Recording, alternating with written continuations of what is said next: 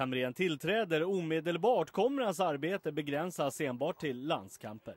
Hamrén kommer nämligen att stanna kvar som huvudtränare för Rosenborg fram till 31 augusti 2010. Dagen efter tar han över förbundskaptensjobbet på heltid och leder Sverige över kvalet till VM i Brasilien 2014.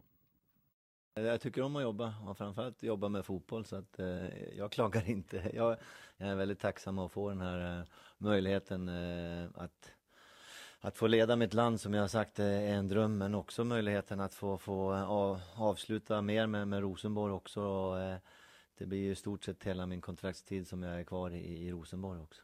Ja, det har varit otroligt mycket födelser eh, under den här tiden. Eh,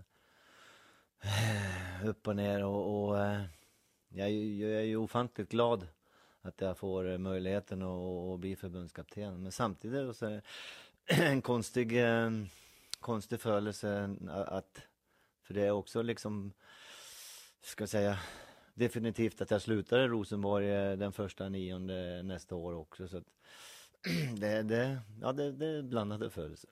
Avtalet med Svenska fotbollsförbundet innebär att Erik Hamrén tar ut sin första landslagstrupp redan på fredag och leder landslaget mot regerande världsmästarna Italien borta den 18 november.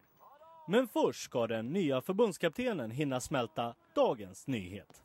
Jag är väldigt glad, även om jag fortfarande inte fått den här förelsen som, som man har när man, när man vinner eh, guld och så vidare. Den kanske kommer ikväll när jag får chansen att, att hämta mig. Det, har, det var klart för en timme sedan drygt det här så det, det är otroligt mycket förelsen i, i kroppen just nu.